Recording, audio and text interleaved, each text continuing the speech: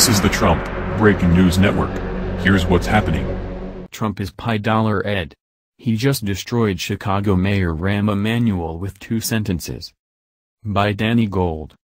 President Trump was not elected because the American people want to be bullshitted. We picked him because he take problems head on and comes out on top. Now former Clinton strategist and Chicago Mayor Rahm Emanuel is in his sights, and Trump is P-set. In case you were not aware, Chicago has suffered 762 murders and 4,331 shootings in 2016 alone. More than New York and Los Angeles combined. Democrats may not see it as a problem, but Trump sure does. He took to Twitter to let Emanuel know exactly what he plans to do if he cannot fix Chicago immediately. Bingo.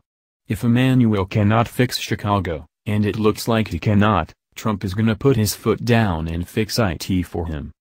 Now, I am not fan of federal overreach.